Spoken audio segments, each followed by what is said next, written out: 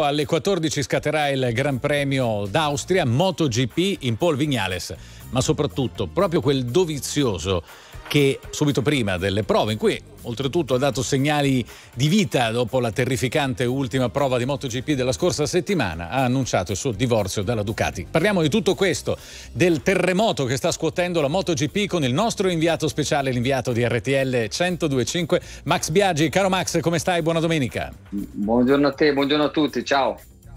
Ecco, partiamo, non possiamo che partire proprio da qui e tra l'altro anche dalle parole di Valentino Rossi che si dice sorpreso, ora forse una chance per Bagnaia. Com'è la situazione? Cosa è successo?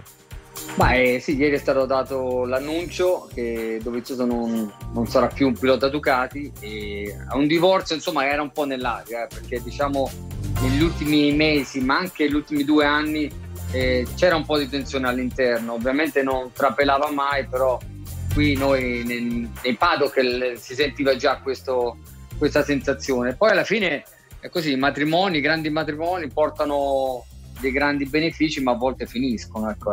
È finito un capitolo di Dovizioso che comunque ha portato alla, alla Ducati tre secondi posti, tre volte vice campione del mondo, cosa che non è ancora riuscita mai nessuno. Dunque ha fatto il suo, il suo chiamiamolo lavoro, è finito un ciclo e se ne aprirà un altro. Certo. Max Biaggi, a proposito di questa chiusura amara ma comunque di una, di una bella storia, come ricordavi tu poco fa, eh, secondo te è un divorzio che può avere un effetto domino, può scatenare qualcosa sul mercato dei piloti della MotoGP?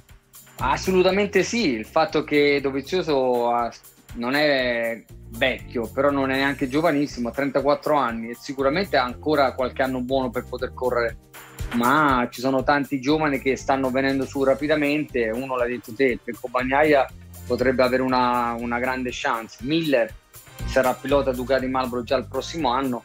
E, e, e, degli altri piloti che dalla Moto 2 promettono bene, eh. a volte giocare anche la carta del pilotino come è successo a Quartararo, vi ricordate Quartararo l'anno scorso ha fatto una stagione esagerata vincendo, non vincendo le gare ma essendo sempre protagonista ma lui veniva dalla Moto 2 comunque può darsi che la Ducati possa pescare un jolly nel vivaio. E poi Max, prima di chiudere, ah, innanzitutto dacci una battuta anche sul Max, sul Max Racing Team, come sono andate le prove. Poi va bene i pilotini, eh, ma c'è un certo Jorge Lorenzo, attualmente parcheggiato, più o meno, perché in realtà fa il tester ed è tutt'altro che in pensione. Eh, eh, fosse lui la sorpresa? Ma sicuramente lui sarebbe uno ancora valido, però non so se questo possa accadere. Eh. Adesso qualche mese di inattività sicuramente non è che ha intaccato la sua velocità in pista, però bisogna avere la voglia e la motivazione per tornare a quei livelli.